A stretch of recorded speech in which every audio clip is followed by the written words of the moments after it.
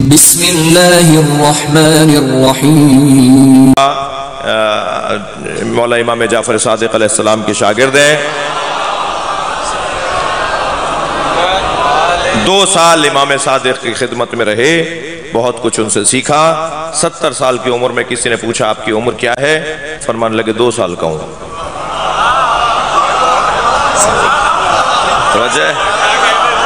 तो पूछने वाले ने कहा, आपकी उम्र तो हमें सत्तर साल लग रही है। कहने लगे, दो साल निकाल दो तो मैं कुछ भी नहीं हूँ। तो इमाम अनु अबू हनीफा, हमारे सुन्नी भाइयों ने उन्हें अपना इमाम कह दिया, जबकि वो मुसलमानों के इमाम हैं। हमारे भी हैं, हमारे भी आलिम हैं, और उनकी किसी तरह कोई बेहतरामी, कोई शिया नहीं कर सकता। अहले हदीस बिरादत बिरादर से गुफ्तु और तकरार हुई, जिस पर उसने गैरुल्लाह की नज़र न्याज को हराम कहते हुए सूर्य नहल की एक सौ पंद्रहवीं आयत का हवाला दिया कि तुम पर सिर्फ़ मुर्दार और खून और सुअर का गोश और नजिस चीज़ और अल्लाह के सिवा किसी और के नाम को पुकार के अगर ज़बा किया जाए जानवर तो वह हराम है। तो इसको हम न्याज और नज़र को हम क्या कहेंगे?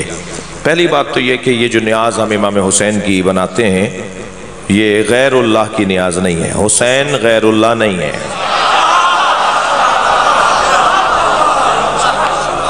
गैरुल्लाह नहीं है, यानी अल्लाह भी नहीं है। ये किसने कहा कि हुसैन गैरुल्लाह नहीं है, यानी मैंने अल्लाह बोला है? जी।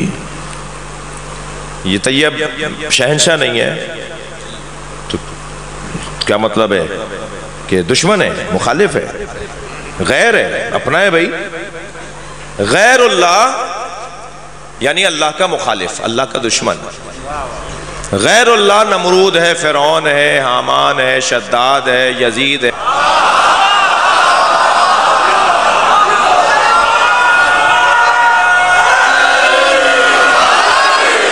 लेकिन हज़रत आदम, हज़रत इब्राहिम, हज़रत मूसा, हज़रत ईसा सरकार दो जहाँ, मौला कायनात, मौला हुसैन, मौला सादिक, मौला मेहदी। ये सब गैरुल्लाह तो नहीं है। ये तो अल्लाह के काम को चलाने वाले हैं। ये अल्लाह के निज़ाम को चलाने वाले हैं। जिन्होंने अल्लाह के दीन के खिलाफ काम किया है, वो गैरुल्लाह है ना। तो पहली बात तो ये रोशन रहे। दूसरी बात ये कि जब इमाम हुसैन की न्याज के लिए हम बकरा, दुम्बा, गाय, बैल ज़िबा करते हैं तो उसे करबला की तरफ़ लिटाकर या हुसैन कहकर ज़िबा नहीं करते। उसे केबले की तरफ़ लिटाते हैं और चाकू से ज़िबा करके बिस्मिल्लाह कहकर अल्लाह का नाम लेकर ज़िबा करते हैं। ये सारी कायनात अल्लाह का रिस्क खा रही है तो फैले हुसैन। वैसे ही हम बेतुफैले हो सकते हम वैसे ही न्याज खा रहे हैं। ये जो नहीं मानते ना, वो भी न्याज खा रहे हैं। जो न्याज को नहीं मानते, खफा तो नहीं हो रहे आप? जो न्याज नज़र नहीं मानते, वो भी न्याज खा रहे हैं। ये जो तनख्वाहें मिल रही हैं, ये न्याज है। ये जो फ़सलें उतरती हैं, ये न्याज खा रहे हैं आप। अल्लाह ने रिस्क इनके लिए रखा है, इनके तो फैल हमें मिलता है। ये वास्ता फैज है। ये ज़रिया फैज हैं। थक गए। मौलाना, मैं मेरा आपसे सवाल है कि नबी मुकर्रम के दौर में पाँच अजानें होती थी तो अब क्यों नहीं होती? आया मौला अली के दौर में भी तीन ही अजानें होती थी, और जो जहरैन और मगरबैन मिला के पढ़ते हैं, इसके बारे में जवाब दें। पहली बात तो ये कि अजान ऐलान है, और उसका मकसद ये होता है कि नमाजियों को जमा किया जाए। अजान वाजिबी नहीं है। अजान मुस्तहब है, सुन्नत है। अजान अगर लाउड स्पीकर से न भी हो, तब भी हर नमाजी को अजान और इकामत कहना सवाब है। अजान एक ऐलान है, हमने ऐलान किया, लोग जमा हो गए तो क्योंकि मिलाकर जहर पढ़ी जा रही है और असर के साथ, इसलिए ऐलान पर लोग जमा हो चुके हैं तो दोबारा अजान नहीं कही जा रही। लेकिन अगर कह दी जाए तो सवाब है।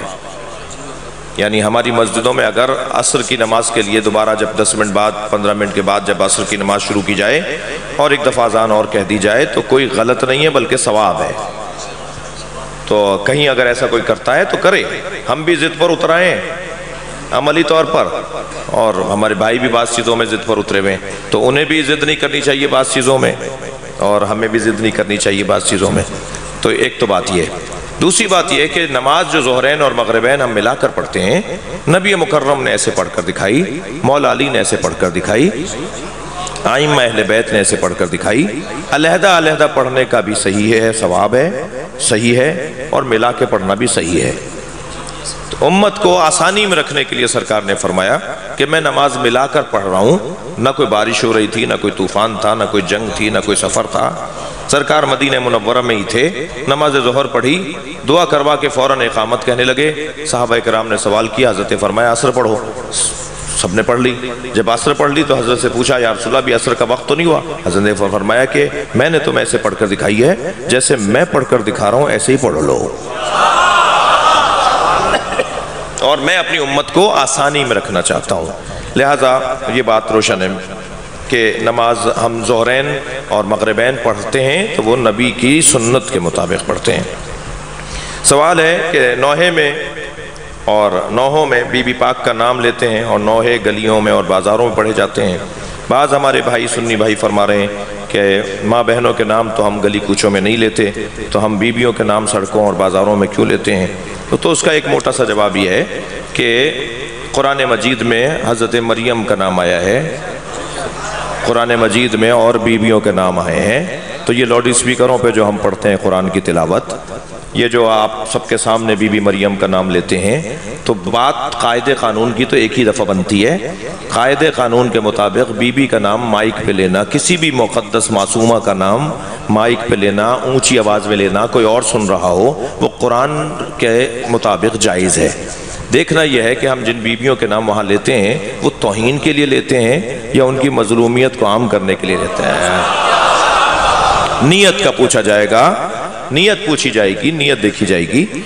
इस, ये नाम लेने वाले की नीयत यह है कि किसी तरह बीबी का नाम, बीबी का नाम मजलूमियत के तौर पर दोहराया जाए ताकि लोग उनकी मजलूमियत की तरफ़ तवज्जो करें। नाम लेना तो कुरान से साबित है कि बीबियों का नाम कुरान ने लिया है और कुरान माइक पे भी पढ़ा जाता है, कुरान मक्के मदीने में भी पढ़ा जाता है, नाम महरमों के सामने भी और बाज़ारों और कूचों में भी आवाज़ें आती हैं। तो नाम लेना कुरान की रूह से साबित है। सवाल हो रहा है कि खातून जन्नत को फदक किसने नहीं दिया और उसकी दलील कौन सी किताब में है? फिदक बीबी को किसने नहीं दिया? ज़ाहिर नबी की रहलत के बाद सरकार ने, बीबी ने अपना माल, अपना फदक मांगने के लिए दरबार में तशरीफ़ ले गई। हज़रत खुतबा इरशाद फरमाया तो कहा गया कि गवाह लेकर आओ कि नबी ने तुम्हें दिया है। बीबी अपने साथ गवाह लेकर आई। कहा, जी, आपके घर के गवाह हैं, घर के गवाहें कबूल नहीं किए जाएँगे। तो बीबी फिर तहरीर ले आई नबी की और बीबी की तहरीर जो बीबी के पास थी, उसको कबूल नहीं किया गया। हमने 40 किताबों के हवाले दिए हैं। अपने भाइयों की 40 किताबें। डॉक्टर ताहिर कादरी साहब ने एतराज़ किया था कि शिया झूठ बोलते हैं, ऐसा कुछ नहीं हुआ। तो हमने उन्हें जवाब देने के लिए उनकी 40 किताबें खोल खोल के दिखाई। ये आपकी किताब है। सफ़ा नंबर देख लीजिए। कहाँ से छपी हुई है, ये देख लीजिए। 40 किताब सोशल मीडिया पर मेरा क्लिप मौजूद है, चौंतीस मिनट का। वो आप लोग जिन्होंने नहीं देखा है, वो देख लें। हमने इसी मसले के ऊपर डॉक्टर साहब को जवाब दिया और अब वो चालीस किताबों के अक्स फ़ोटो को, फ़ोटो। यानी ये नहीं हो गया हमने कोई तब्दीली कर दी। उसकी अक्स लेकर वो हमने किताब की शक्ल में भी छाप दी है अहले इल्म को देने के लिए। कि बीबी के साथ क्या हुआ, मैं इससे ज़्यादा तफसील में नहीं जा रहा। सवाल कर रहे हैं कि मातम क्यों किया जाता है और कुरान में मातम किस जगह लिखा हुआ है? मातम अजीज़ा ने ग्रामी इजहार गम है और मजलूम की मजलूमियत का प्रचार है। पहले तो हमें समझने की ज़रूरत है, शीयत को समझने की ज़रूरत है। शीयत एक तहरीक का नाम है, मजलूमों की हिमायत में। मजलूम की हिमायत की तहरीक को शीयत कहा जाता है। और इसको चार चाँद लगाए हज़रत मुख्तार ने। और वो तहरीक आज तक चली आ रही है, और जब तक चली आएगी, जब तक के मजलूम के गुंबद पर सुर्ख परचम लगा हुआ है। मजलूम के गुंबद पे सुर्ख परचम इसलिए लगा हुआ है कि अभी इसका बदला नहीं हुआ। जब बदला हो जाएगा तो ये तहरीक खुद मजलूम जाने के तहरीक चलाने वालों को वो क्या हुक्म देते हैं। लिहाजा मातम एक मजलूम की हिमायत का इजहार है। अब हर वो काम कि जो मेरे जान को ख़तरे में डाल दे, वो काम मुझे करना जायज़ नहीं है। लिहाजा इस हद तक मातम, जो मेरी जान के जाने का मुझे एहसास दिला रहा हो, वो जायज़ नहीं है। लेकिन बदन को सुर्ख कर लेना, तकलीफ़ पहुंचाना, मातम करना, या हर वो अंदाज अपनाना जिससे मेरे बदन को तकलीफ़ तो पहुँचे, मगर मेरी जान नहीं जाएगी, मुझे पता है मैं मरूँगा नहीं, खुदकुशी नहीं कर रहा, वो जायज़ है। अब ये कहाँ से जायज़ है, कैसे जायज़ है? तो मैं अभी मेडिकल कॉलेज में योम हुसैन से खिताब कर रहा था डाउ मेडिकल कॉलेज, यूनिवर्सिटी में तो वहाँ डॉक्टर हजरात में आधे से ज़्यादा सुन्नी बच्चे थे और आधे शिया भी थे। तो उनमें से एक सुन्नी जवान ने, बच्ची थी, उसने सवाल किया कि आप लोग मातम करते हैं, अपने बदन को तकलीफ़ पहुँचाते हैं? तो ये तो अपने बदन को तकलीफ़ पहुँचाना जायज़ नहीं है। तो मैंने कहा, बड़ा अच्छा किया कि आपने सवाल कर लिया। आप जो हमारा सीना चाक करके, पूरा काट के, अंदर से दिल निकाल के, उसको एक मरतबा सी कर और उसको सही करके दोबारा लगा देते हैं, ये अल्लाह का बनाया हुआ बदन है। आपको किसने इजाज़त दी है इसे आप काट रहे हैं? तो जवाब आपका ये आएगा जवाब आपका यह आएगा कि बड़ी मसलहत की खातिर हम ऐसा कर रहे हैं। हम जान बचाने के लिए ऐसा कर रहे हैं। हम बड़ी मसलहत की खातिर ऐसा कर रहे हैं। तो मैंने कहा यही हमारा जवाब है। हम जब अपने बदन पे तकलीफ़ पहुँचा रहे होते हैं तो एक बड़ी मसलहत हमारे जहन में होती है, और वह है हुसैन की तरफ़ तवज्जो दिलाना। और जब हुसैन की तरफ़ हम तवज्जो दिला देते हैं तो इससे बड़ी मसलहत और क्या है? और लोग जब मेरे मौला की तरफ़ तवज्जो कर लेंगे तो खूबियों की तरफ़ तवज्जो कर लेंगे। फिर कुरान मजीद सुर मुबारक यूसुफ की चौरासी नंबर की आयत में हज़रत याकूब का नोहा और मातम लिखा हुआ है, जिसमें हज़रत यूसुफ काला, या असफ़ा अला यूसुफा, वब ना हो मिनल होजन वहुआ फहुआ कदीम हज़रत यूसुफ अपने बच्चे को याद करके, या सफ़ा या सफ़ा, मेरे भाई हैं, मैं भी उनका बड़ा एहतराम करता हूँ, मगर मैं हफिज़ाहुल्ला उन्हें दिल से बोलूँगा, हर एक को नहीं बोला जाता, मैं उन्हें हफिज़ाहुल्ला बोलूँगा। एक सलवात पढ़े ज़रा मोहम्मद वाल मोहम्मद वो मेरे अज़ीज़ हैं, मेरे भाई हैं, बड़ा मैं एहतराम करता हूँ उनका, और वो फरमा रहे थे कि हाफिज़ाउल्ला किसी को भी बोला जा सकता है, मुझे उन्होंने बोला, मगर मैं नहीं। मैं किसी और को हाफिज़ाउल्ला नहीं बोल सकता। मैं मौलाना इंजीनियर साहब को मैं हाफिज़ाउल्ला बोल रहा हूँ। तो उन्होंने मुझे जवाब दिया है, मैं उनका जवाब दे रहा हूँ। तो मैं उन्हें हाफिज़ाउल्ला कह के, क्योंकि उनकी बड़ी खिदमत हैं। बड़ा काम कर रहे हैं और बहुत ही इल्मी जो है वो उलझनों को दूर कर रहे हैं। इल्मी गुत्थियाँ सुलझा रहे हैं और उनका मेरे हिसाब से उर्दू समझने वाले उम्मत मुस्तफ़ा पर एहसान है उनका। सरकार की उम्मत का, के ऊपर उनकी मेहरबानी है कि वो उलझनों को दूर कर रहे हैं। तो उन्होंने कहा जी कहानी घड़ ली मौलाना ने कि यहाँ मारते थे, यहाँ मारते थे, यहाँ मारते थे। मैं उन्हें हवाले भेज रहा हूँ इन कि हज़रत यूसुफ किस तरह अपने जानू को पीटते थे। तो यहाँ मारना या यहाँ मारने में क्या फ़र्क है? बदन तो ये भी है, बदन तो ये भी है। हमारे यहाँ मुझे याद है, मेरे बूढ़े बड़े बैठे हुए हैं, बुज़ुर्ग बैठे हुए हैं, हमारे यहाँ सर का मातम भी होता था, जानू का मातम भी होता था। पुरानी वीडियो निकाली, अगर कहीं पुरानी निकल आई तो बैठ के भी एक मातम होता था, हमारे इसी हिंदुस्तान, पाकिस्तान में, इसी खत्ते में, यहाँ ज़मीन पर बैठ बैठकर जानुओं पर हाथ मारते थे। ये सी, अब भी बाज़ जगह पर है, तरीके तब्दील हुए हैं तो भाई जानू और सीना एक ही बदन का हिस्सा है ना? यहाँ हराम हो जाए, यहाँ जायज़ हो जाए। तो ये तो मातम कुरान और अहल बैत की तालीमत की रोशनी में जायज़ है, मगर इतना ना हो कि जान चली जाए। बरदरान अहल सुन्नत जमात कहते हैं कि सिर्फ़ अम्बिया मासूम हैं उनके अलावा कोई भी मासूम नहीं है। तो हम क्या कहते हैं? हम कहते हैं जी आय तथीर में अहल बैत का नाम आया है, और अहल बैत नबी नहीं है। और आय तथीर उनकी इसमत पे दलील है। इस पे किसी को कोई इनकार नहीं है कि आय तथीर दलील इसमत अहल बैत है। तो पंजतन के मासूम होने पे तो किसी मुसलमान को कोई इख्तलाफ नहीं है। कुछ लोग कहते हैं कि कड़ियाँ नहीं पहननी चाहिए, क्योंकि उन्होंने खुशी में कड़ियाँ नहीं पहनी तो आप बताइए, मन्नत की कड़ी और वैसे कड़ियाँ पहनना कैसा है? कुल्लो शय इन हलाल हत्ता तालमो अन्नहु हराम। कायदा कानून यह है कि हर शय हलाल है, मगर यह कि उसके हराम होने की ख़ास दलील हो। हमें कड़ियों के हरमत की कोई दलील नहीं मिल रही। हमें बुंदा डालने की कोई हरमत नहीं मिल रही। तो हर शय हलाल है, मगर यह कि उस शय के लिए कोई हरमत का हुक्म आ गया हो। तो क्योंकि हरमत का हुक्म नहीं है तो ये हलाल है। अब हलाल पहले साबित हो जाए। जब हलाल है तो बहुत सारे हलाल काम आप भी कर रहे हैं, मैं भी कर रहा हूँ। मैं नहीं कर रहा, वो कर रहे हैं, मैं कर रहा हूँ, वो नहीं कर रहे हैं। तो हलाल काम कोई भी कर सकता है, और इस्लाम ने हलाल काम करने की इजाज़त दी है। और अगर वो हलाल काम मुझे किसी तवसल से जोड़ दे वो हलाल काम मुझे किसी की याद में मुबतला कर दे और जिसकी याद में मैं मुबतला हो रहा हूँ, उसकी याद में मुबतला होने का हुक्म भी हो तो फिर ये ये फिर हुसन पा जाएगा। लिहाजा कड़ियों को, बुंदों को मिसाल के तौर पर हत कलावे एक साहब कहने लगे, ये तो हिंदुओं की चीज़ें मैंने कहा, हो सकता है हमारी हो हिंदुओं ने ले ली हो। आपने कैसे साबित कर लिया, हिंदुओं की है? हो सकता है हमारे यहाँ, हम यहाँ हाकिम रहे हैं भाई। बर सगीर में मुसलमानों की हुकूमत थी ना। हम ज़्यादा मज़बूत थे, हिंदुओं से ज़्यादा मज़बूत थे। हो सकता है हमारी चीज़ें उन्होंने ली हो। तो अगर फ़र्ज़ करें उनकी भी चीज़ है तो क्या आप ये डालते वक्त नियत करते हैं कि मैं हिंदुओं के मुताबिक ज़िंदगी गुजार रहा हूँ? आपके तो जहन में भी नहीं होता कि हिंदुओं की चीज़ है। आपकी अपनी चीज़ है। बहुत सारी चीज़ें जो आपने ईसाइयों से ली हुई है, बहुत सारी चीज़ें जो आपने यहूदियों से ली हुई हैं, बहुत सारी चीज़ें जो पंजाबियों ने, सिंधियों से ली हुई हैं, सिंधियों ने पख्तूनों से ली हुई हैं तो क्या मतलब है?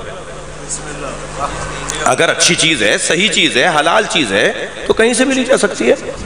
तो ये कहकर ये फला की चीज़ है। हाँ उनके मज़हब का हिस्सा, उनके मज़हब की तरवीज उससे ना होती हो। आपके कलावे पहनने से आप हिंदू तो नहीं हो जाते ना? जी, आपकी कड़ियाँ पहनने से आप फला तो नहीं हो जाते। तो ये मैं उन लोगों को समझा रहा हूँ जो यही बातें समझेंगे। सलवात पढ़े जरा मोहम्मद वाले मोहम्मद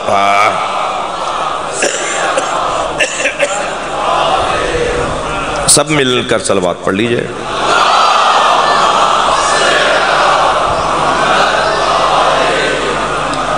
कोई मुझसे नाराज़ तो नहीं है?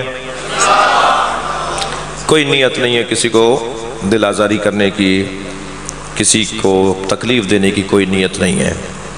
नीयत सिर्फ़ यह है कि किसी तरह उलझने ख़त्म हो और तरद से निकलकर यकीन का सफ़र करें। और मुसलमान आपस में सुन्नी शिया एक दूसरे को सुने। यानी मुझे बहुत सारी बातें अपने शियों को समझाने की हैं जो हमारे यहाँ अच्छी नहीं हो रही बहुत सारी बातें सुन्नियों को समझाने की है जो उनके अच्छी नहीं हो रही। मगर हम एक दूसरे को करीब लाएँ, समझाएँ, सुने एक दूसरे को तो मसले हमारे हल हो जाएँगे। जो आइडियल घराना है, वो सिर्फ़ नबी का घराना है। बाकी हम सब मुआज़े के मोहताज हैं। हम सब नसीहतों के मोहताज हैं। और उस आइडियल घराने को खराज तहसीन पहचाना खराज तहसीन पेश करना, एक उस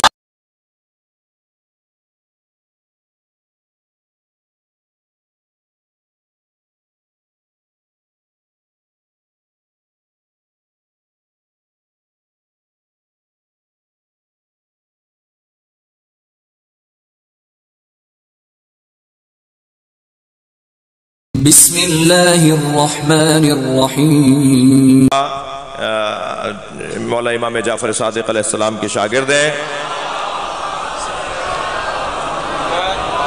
दो साल इमाम सादिक की खिदमत में रहे, बहुत कुछ उनसे सीखा। सत्तर साल की उम्र में किसी ने पूछा, आपकी उम्र क्या है? फरमान लगे, दो साल का हूँ।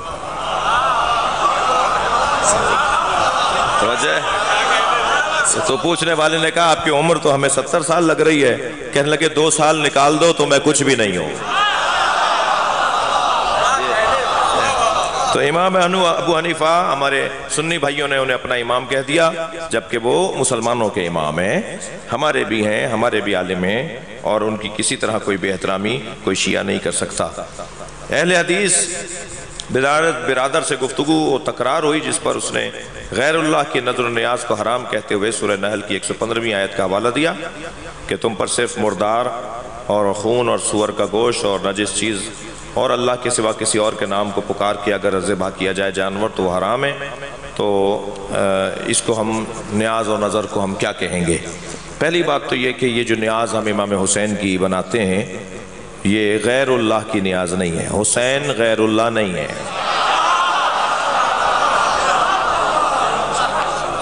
गैर गैरुल्लाह नहीं है, यानी अल्लाह भी नहीं है। ये किसने कहा कि हुसैन गैरुल्लाह नहीं है, यानी मैंने अल्लाह बोला है?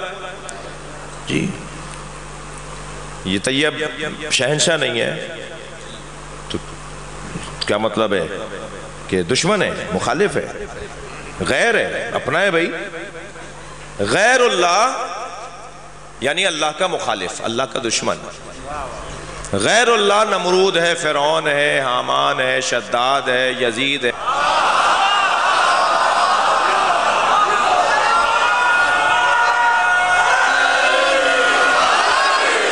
लेकिन हज़रत आदम, हज़रत इब्राहिम, हज़रत मूसा, हज़रत ईसा सरकार दो जहाँ, मौला कायनात, मौला हुसैन, मौला सादिक, मौला मेहदी। ये सब गैरुल्ला तो नहीं है। ये तो अल्लाह के काम को चलाने वाले हैं। ये अल्लाह के निज़ाम को चलाने वाले हैं। जिन्होंने अल्लाह के दीन के खिलाफ काम किया है, वो गैरुल्ला है ना? तो पहली बात तो ये रोशन रहे। दूसरी बात ये कि जब इमाम हुसैन की न्याज के लिए हम बकरा, दुम्बा, गाय, बैल ज़िबा करते हैं तो उसे करबला की तरफ़ लिटाकर या हुसैन कहकर ज़िबा नहीं करते। उसे किबले की तरफ़ लिटाते हैं और चाकू से ज़िबा करके बिस्मिल्लाह कहकर अल्लाह का नाम लेकर ज़िबा करते हैं। ये सारी कायनात अल्लाह का रिस्क खा रही है तो फैले हुसैन। वैसे ही हम बेतुफैले हो सकते हम वैसे ही न्याज खा रहे हैं। ये जो नहीं मानते ना, वो भी न्याज खा रहे हैं। जो न्याज को नहीं मानते, खफा तो नहीं हो रहे आप? जो न्याज नज़र नहीं मानते, वो भी न्याज खा रहे हैं। ये जो तनख्वाहें मिल रही हैं, ये न्याज है। ये जो फ़सलें उतरती हैं, ये न्याज खा रहे हैं आप। अल्लाह ने रिज्क इनके लिए रखा है, इनके तो फैल हमें मिलता है। ये वास्ता फैज हैं। ये ज़रिया फैज हैं। थक गए।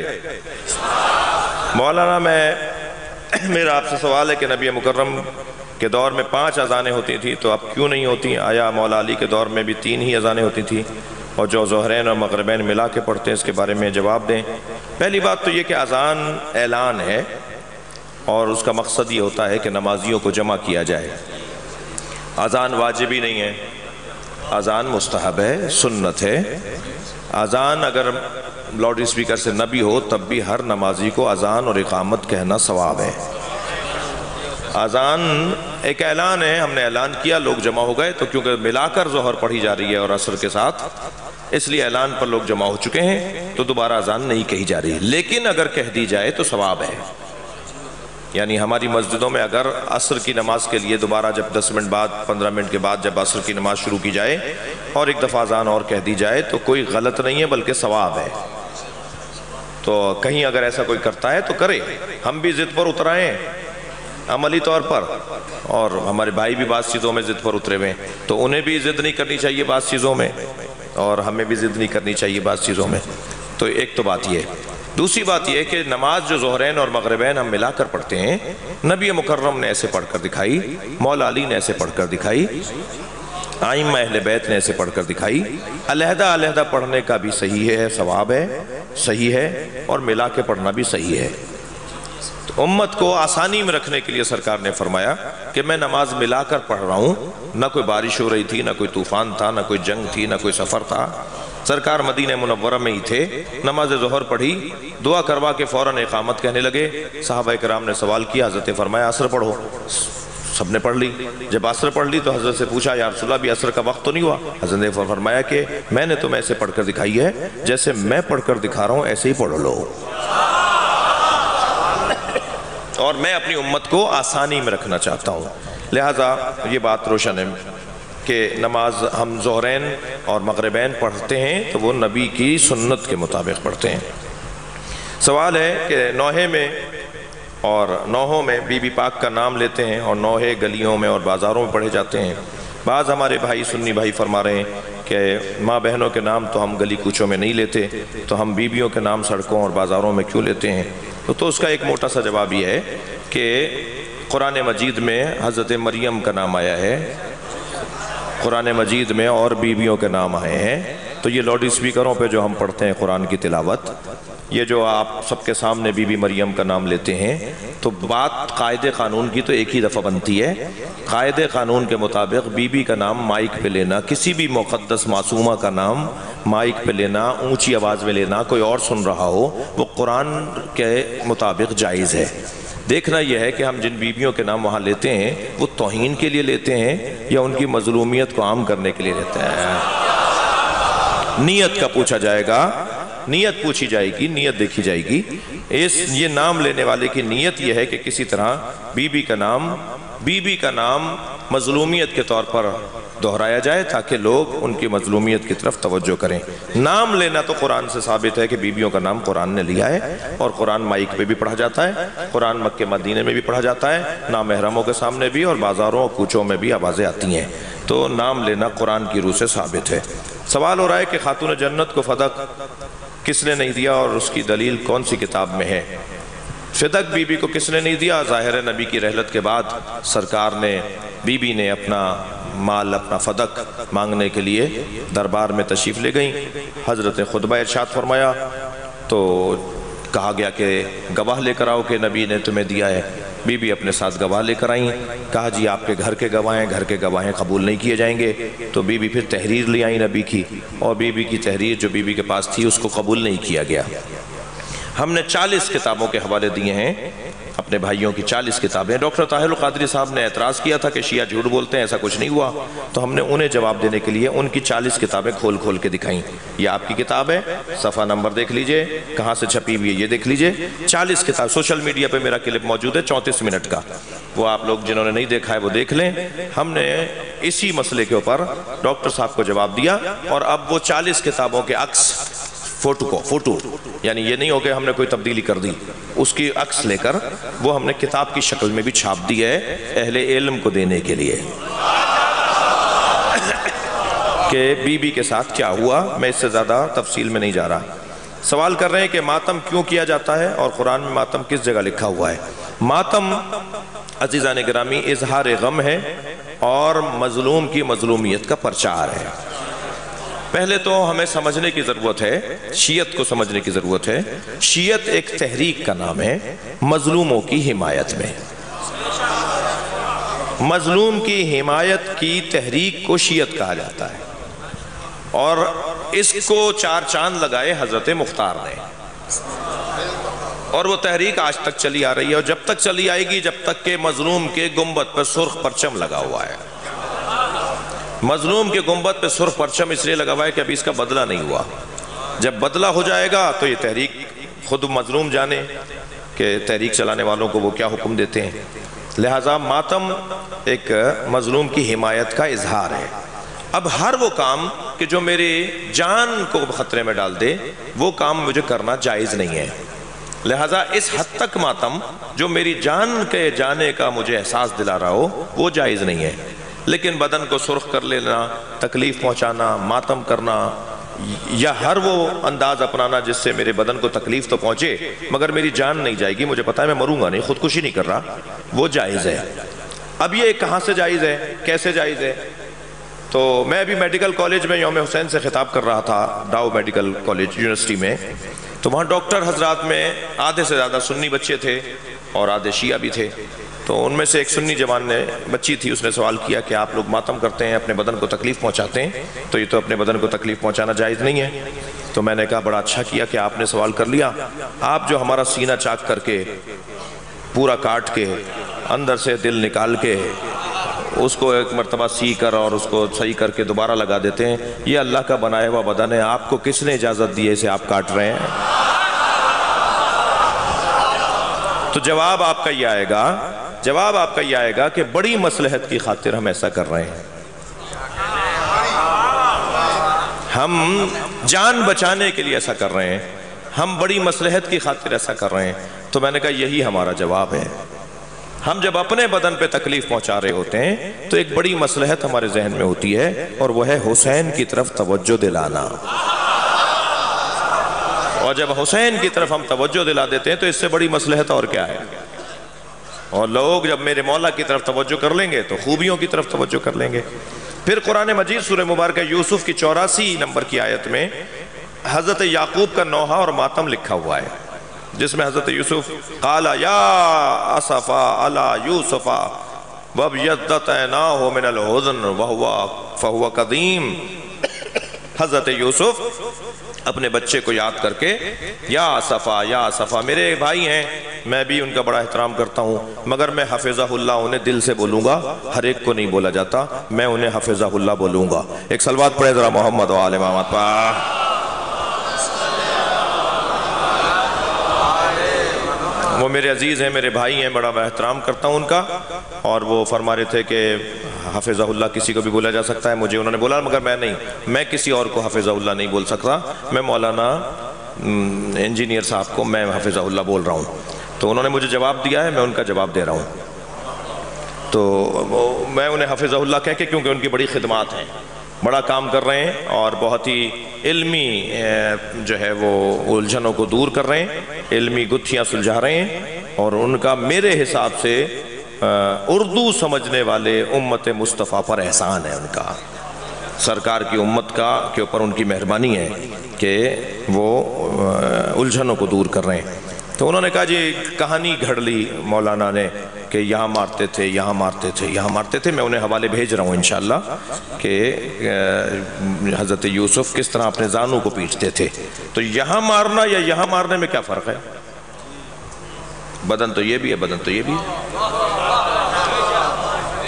हमारे यहाँ मुझे याद है, मेरे बूढ़े बड़े बैठे हुए हैं, बुज़ुर्ग बैठे हुए हैं। हमारे यहाँ सर का मातम भी होता था, जानू का मातम भी होता था। पुरानी वीडियो निकाली, अगर कहीं पुरानी निकल आई तो बैठ के भी एक मातम होता था हमारे इसी हिंदुस्तान, पाकिस्तान में, इसी खत्ते में, या ज़मीन पर बैठ बैठकर जानुओं पर हाथ मारते थे। ये सीन अब भी बाज़ जगह पर है, तरीके तब्दील हुए हैं तो भाई जानू और सीना एक ही बदन का हिस्सा है ना? यहाँ हराम हो जाए, यहाँ जायज़ हो जाए।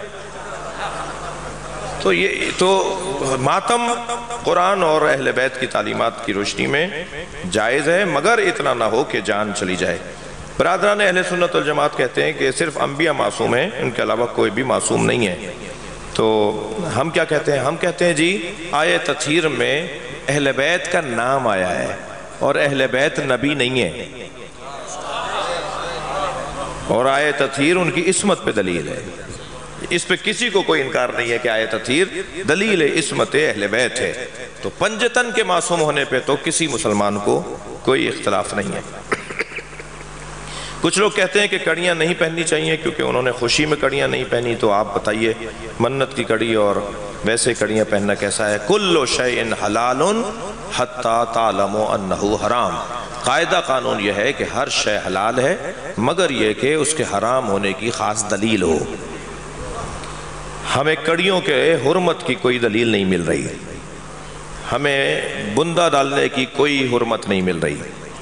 तो हर शय हलाल है, मगर यह कि उस शय के लिए कोई हरमत का हुक्म आ गया हो। तो क्योंकि हरमत का हुक्म नहीं है तो ये हलाल है। अब हलाल पहले साबित हो जाए। जब हलाल है तो बहुत सारे हलाल काम आप भी कर रहे हैं, मैं भी कर रहा हूँ। मैं नहीं कर रहा, वो कर रहे हैं, मैं कर रहा हूँ, वो नहीं कर रहे तो हलाल काम कोई भी कर सकता है, और इस्लाम ने हलाल काम करने की इजाज़त दी है। और अगर वो हलाल काम मुझे किसी तवसल से जोड़ दे वो हलाल काम मुझे किसी की याद में मुबतला कर दे और जिसकी याद में मैं मुबतला हो रहा हूँ, उसकी याद में मुबतला होने का हुक्म भी हो तो फिर ये ये फिर हुसन पा जाएगा। लिहाजा कड़ियों को, बुंदों को मिसाल के तौर पर हत कलावे। एक साहब कहने लगे, ये तो हिंदुओं की चीज़ें मैंने कहा, हो सकता है हमारी हो हिंदुओं ने ले ली हो। आपने कैसे साबित कर लिया हिंदुओं की है? हो सकता है हमारे यहाँ हम यहाँ हाकिम रहे हैं भाई। बर सग़ीर में मुसलमानों की हुकूमत थी ना, हम ज़्यादा मज़बूत थे, हिंदुओं से ज़्यादा मज़बूत थे। हो सकता है हमारी चीज़ें उन्होंने ली हो।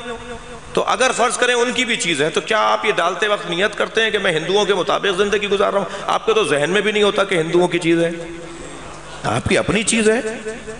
बहुत सारी चीज़ें जो आपने ईसाइयों से ली हुई हैं, बहुत सारी चीज़ें जो आपने यहूदियों से ली हुई हैं, बहुत सारी चीज़ें जो पंजाबियों ने, सिंधियों से ली हुई हैं, सिंधियों ने पख्तूनों से ली हुई हैं तो क्या मतलब है?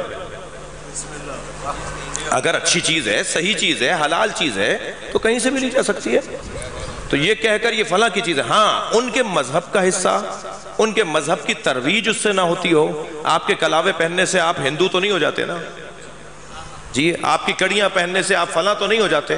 तो ये मैं उन लोगों को समझा रहा हूँ जो यही बातें समझेंगे। सलवात पढ़े जरा मोहम्मद वाले मोहम्मद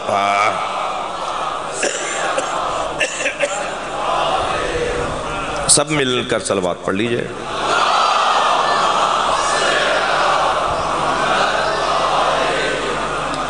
कोई मुझसे नाराज़ तो नहीं है? कोई नीयत नहीं है किसी को दिल आज़ारी करने की, किसी को तकलीफ़ देने की कोई नीयत नहीं है। नीयत सिर्फ़ यह है कि किसी तरह उलझने ख़त्म हो और तरद से निकल कर यकीन का सफ़र करें। और मुसलमान आपस में सुन्नी शिया एक दूसरे को सुने।